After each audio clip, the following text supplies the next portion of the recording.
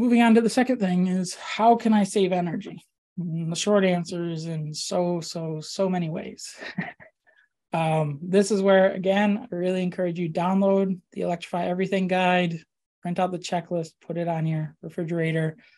Um, but some of the big, big things, uh, big categories is really through heat pumps, which will cover your heating and cooling, can cover your water heating, and even help with clothes drying through induction stoves and electric cooking, and through electric vehicles or e bikes. Our web tool features several services to help you find tax credits and rebates to make these upgrades cheaper. So I'm going to talk you through some and all of this. How can I find and understand these incentives? So there's four things I'll show you quickly, um, kind of how you can find it on our site. So if, for example, you just got to, where was it? If you got to the end of the green pricing thing, it has these two buttons, solar option or save energy. Those will take you to the other tool. If you're just coming back to the website for the first time, it wants to push you towards green energy or thinking about changing this. But there's this menu button in the upper left-hand corner. Click that and it pulls up our other tools. So that through that, you can navigate to our save energy tool. So let's type in 53158 again to this tool. There are a series of cards that'll pop up. So first is Rewiring America. They have an Inflation Reduction Act calculator. It's amazing. Um, let me pull this up real quick so you can see it. These are the folks who make that Electrify Everything guide. They're they're involved in lobbying for the bill. They produce extraordinary uh, educational resources, funny videos, everything. They are huge proponents of electrification. And so if you type in your zip code, your homeowner status, your renter, your income, tax filing, they're not trying to collect this. They're just trying to help you identify which of all of these, so there's all these state rebates, all these tax credits that the Inflation Reduction Act is rolling out. And this helps you narrow down which ones are going to apply to you and then you can click in and learn a ton about why these individual things matter, how you can utilize them, how do you sign up for them.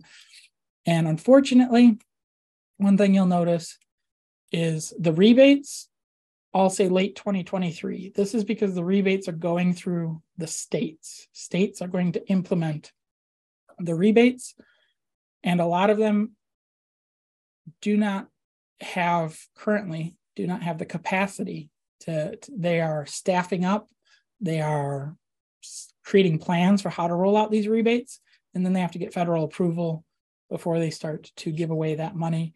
And so it's estimated that's going to take a lot of uh, most states until later this year possibly early next year before that's available. So look for more guidance from your local energy nonprofits uh, as the as the year goes on Going back to our tool, um, another resource there's out there is DSIRE. I mentioned that North Carolina State University. We've got two cards here.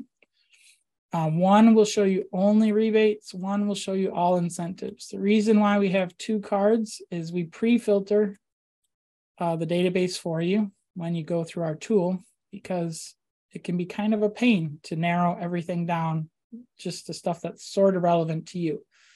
But even when you search for all incentives, you can see 19 programs show up. A lot of these don't apply to actual residents. Um, there's a lot of tax credits, a lot of loans. A lot of these things are for residential builders rather than residential residents. Um, but there are some things that are a little hard for us to, to filter exactly to what you need just because of the way the database is set up. Um, to make things a little bit easier, we have the rebates only card, since that will hopefully narrow down how many things show up. And it does. So you go from 19 to 4. Um, and then lastly is Incentifind. This is a service, as I mentioned, you can pay $25. So if you want uh, the simplest way to get a report of everything that's available to you, um, you can pay them um, and they will produce a report that looks like this. So it gives you kind of a high level overview of what rebates, tax incentives are available to you. It shows you timelines of when things are due. And then There's my timer. I'm over time. I'm to keep going. Uh, then you can see your incentives organized at the utility level, state or city level, state, federal. You can favorite things if you want, and then it has instructions on what eligibility is, what it's going to cost, what the time frame is, and how do you actually sign up for those things. So it's sort of an interactive online report, and you have access to that for up to two years, and it stays up to date. The other nice thing is if you do go the lazy route through Incentifind, no offense to Incentifind, they're great. Um, we've partnered with them and we actually get a, a small commission for anyone that uses uh, this referral link that we recommend.